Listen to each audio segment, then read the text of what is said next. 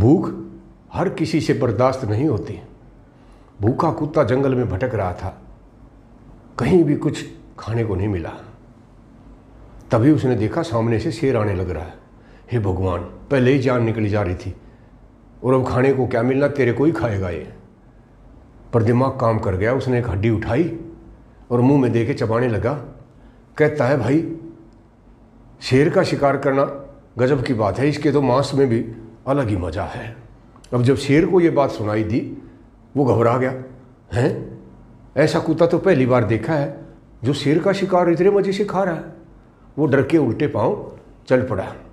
ये सारा काम पेड़ पर बैठे बैठे बंदर ने देखा।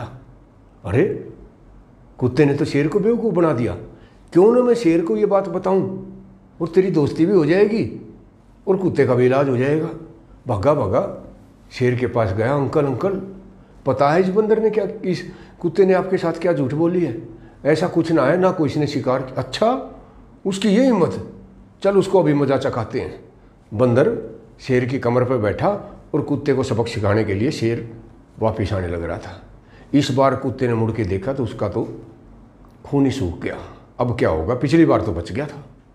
पर कुत्ता भी हार मानने वाला नहीं था। दिमाग पे ज़ोर लगाया और ज़ोर ज़ोर से कहने लगा, एक वो बंदर था। पता नहीं अपने आप को क्या समझता है। पूरा एक घंटा हो गया। मैंने कहा था, दो शेर फंसा के ला। और अब एक घंटे बाद आया है और वो भी एक शेर को फंसा के लाया है। ये बात जब शेर को सुनी तो उसको समझ में आई और शेर ने बंदर को उतार फेंका और दुम दबा के भाग लिया। किसी ने ठीक ही कहा है, मुसीबत के समय दिमाग से काम लेना चाहिए। अगर हिम्मत हारेंगे तो कुछ भी हासिल नहीं होगा। इसलिए हमेशा तरकीब लगाएँ और मुसीबत से छुटकारा पाएँ।